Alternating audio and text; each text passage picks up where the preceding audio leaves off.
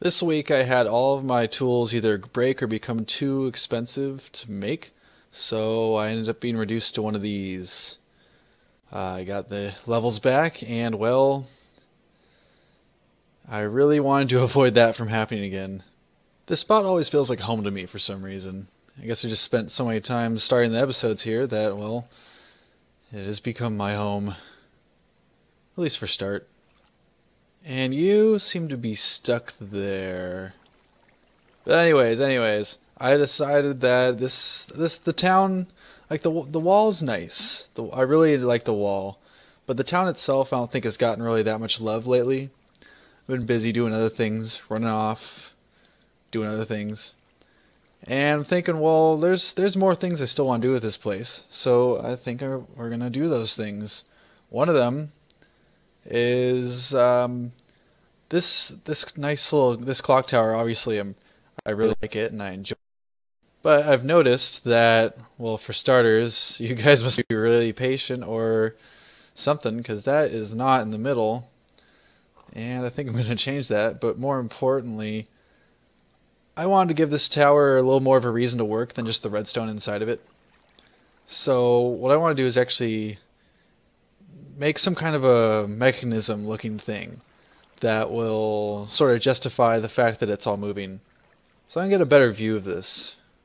Uh, also, I'm going to add in a, uh, a wood cutting mill type building and a fishing hut on the lake and probably some bridges. So those will be coming up.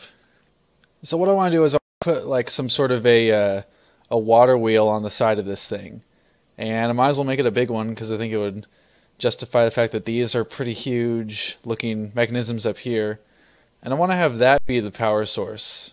I, I think it's one thing to have redstone and stuff, and you know it's powered by redstone, but even if it is, I want to actually give at least give off the illusion that there's other working parts and maybe even hide the fact that it is redstone. So there's two ways I could do that. One way is to take the river down there and you know kind of scoot it over that way. So maybe have it like run out here more and come across there, which is kind of a lot of work. So I'm liking the other option I thought of, which is have the water come from a higher area. And well, I happen to have found this already. If this didn't exist before, I guess I could have made it exist. But it's sort of given me the idea oh there's like a a natural water spring thing here. So if i can take this and somehow bring it over there and have it run into the water wheel maybe if like um i don't know maybe like a bridge sort of like a that kind of technical engineering i bet these these people could have been capable of. So something to bring the water across and to make a wheel here, I think would look good. Then from there, it could wash off that way. And what a wheel would do is that maybe I can connect other things to it inside of the uh, the place there. So there it, there actually will be inner workings in there. So what I'm going to do, and this is a little bit different, is instead of just going through the whole building process and stuff. I'm going to cut to me being done. So basically, it's going to be an explanation before and after. And then at the end of the video, I'm going to have all the footage set up somehow, just as like, just for people who are curious to watch the process of the building. But anyways, let's cut to that. Okay, back up the top. And well, uh, here it is looks I'm I'm actually pretty happy with how this turned out. This is the uh, let's let's go down here and see just what I've done. Um, the water comes from the spring here, goes through this tunnel, and shoots right across this lovely path. And I'll go over what happened in there, but I've changed a few things as you can see. I'll just take this down and goes right in like nothing happened. So, and here's the, uh, oh, here we go. Here's a good look at the wheel. Uh, it's, it's big enough. definitely big enough. and it goes inside there. And I was trying to figure out what type of structural support would look best here because this is kind of kind of big. But oh, here's here's the bottom. Might as well show it because I fell in. Um, here's another another view over here. I think that looks pretty good. I'm pretty happy with that. Uh, as far as the exterior and let's take a look at the uh, the interior. Prepare yourself. Three, two, one, boom. Oh, if I get in the door. So this might take a little bit of explanation about what's going on. I took the floor and went straight down. And and down here I tried to make the uh, give the wheel a spot, the water wheel. This is connected to it. And as the wheel turns, it should turn this thing. This is the best I could best I could do to make another wheel. And then this connects down here, goes up into wherever that'll go. Into the I guess the uh, the whole thing that runs the show. and in case I fall, there's a ladder there. And I made this uh, kind of a nice fun area in here. Sort of, if you really want to get up, you can, uh, if you really want to get up, you can hop across. And I noticed that if I was on the fences, if I was on the fence about all this, I would actually hit my head on the roof. So I brought that up to half slab level. And then from here, you can go up and you can get to the bridge or you can see the inside. I've simplified it back to the the version where it was supposed to be the mine cart going down. And it still works. It just doesn't have the spider webs. Oh wait, I have spider webs. I'll be right back. Alright, I'm back with some of the cobwebs so we can finally do this right. And just as a reminder, this design was by AKAjerminator, another YouTuber that had this really ingenious, I think, way of making this run longer than before. Just having the mine cart go through some cobwebs. As you can see, it uh, it does go down. It just takes its time, and it's so smart to, think about this. I kind of want to make sure that it fully goes through before I walk away. Oh, okay, I guess it did. uh, that went a lot faster than I thought. So, uh, closing remarks on this. I'm glad that it's uh, working now. If I ever can, I want to make it look like things are powered not by just standard redstone, but by the environment around it. And also little things like this support went right through the water. So by recarving it around it, I made it the the thickness of the water stayed the same, and I think that's that little things like that really do help a lot. This lovely area, the cows over here, our uh, sort of tree farm thing over there. I figure this would be a good spot for a wood mill. Um, you know, um, just that was a big um. Wow, that's like tremendous. So I I found a pretty good design online, and let me get that name really fast. Enderman's End. Uh, he has a pretty good design, and it has a uh, a wheelhouse. It's simple, but I think it's very effective. I mean, wheelhouse. It has a water wheel on it. So there's sort of like a river here, and I think that I could probably build it right on the edge of this, and it'd be close to the tree farm, probably facing toward it. I might take down this hill a little bit too, depending on whether the design will work with it or not. We'll see. This is a nice dramatic view. Camera one. Camera two. I don't know about. I think I let these go a little too wild. But then again, it is a uh, active tree farm.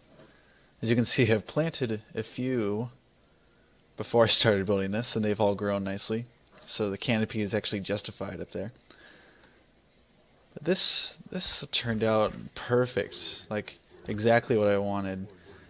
This design wasn't his. It's more. I don't know who was the first person to figure this out, who the first genius is, but I've seen this around a lot.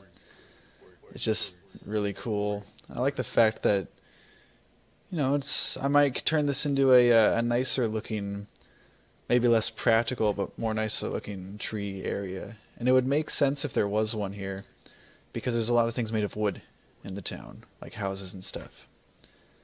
And also I I sort of channeled the river a little bit more, or I took I took some of the dirt out so that the uh, the water wheel could sit comfortably. And from here, as you can see, it looks really quite nice. So uh, big ups for this design. That's a that's very nice. I also like the fact that there's a uh, a pile here, so the wood gets cut up there and falls on here. That's a really uh, a really nice touch. And here's one more view of the inside, and very cool little things like having this be the uh, the cutting blade right at the side of the wheel. There's just a lot of really good ideas going on in here. Magnificent is um, I think in need or in want. I don't know, need want. I think that there should be some sort of a uh, a fishing hut out here, and once again, I was browsing around. I found a really good design for one because I didn't really know how to make one or what it would really look like. And it was by a guy named Wuhbzy. And it was very simple but uh, elegant, I thought. So I think we're going to try to nestle one right in here for the rest of the. So it's just another couple houses coming in here, you know, moving into town. I'm kind of excited about that. I think we can fit it right over here.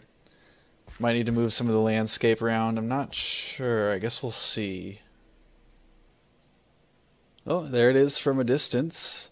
Looking good over there. Let's get a little bit closer. Here it is from across. Oh, I fell in. And right next to it. And slightly behind. So this, I actually kind of took a few creative liberties for this.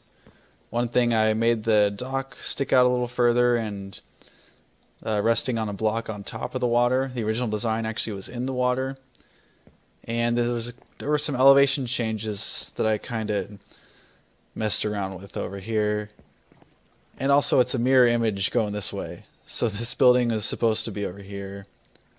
I also kind of made this overhang thing, but for the most part, it's all uh, the design, and it looks quite nice.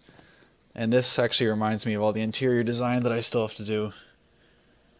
I've been kind of putting that off because that's not really my uh, my strength. But I think that's going to have to change soon, especially if I want to make this place look good. There's no intent to be fancy with these. The the main thing is, well, look at the resources. It's just going to be um, slabs of each of these but I think we can make something that looks pretty nice. Um, so let's see, uh, might as well make it too wide. And these would be the supports on each side. I guess I could use blocks for this, but a little bit more freedom with this. Some, some water. Might as well extend it down.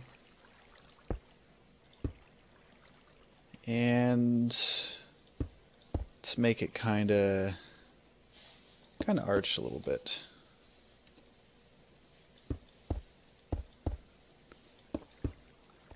So this way it kind of looks like they're the full blocks, but just sort of splitting the difference between where they can actually exist. And for the floor, I'll probably just put it one lower than whatever block that's going on.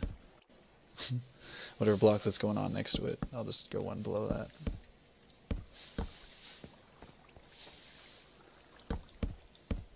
Pretty not fancy. I guess I'll eventually deepen this a little bit so you can go under it. That'd be kind of nice. I, I, like having that as a feature. Uh, I could do that, but that looks kind of bad. I know. I'll I'll do this for now. I'll just put these on Hopefully nothing spawns on this thing. So that's one of them that's straight on. And this one's going to be going across pretty similarly. I noticed that I, I traverse these areas. So these are more like, not like, oh, this looks like a nice spot for a bridge. But like I would actually use these bridges. I'm going to try for a similar thing as the other one, but just at an angle. So something like that.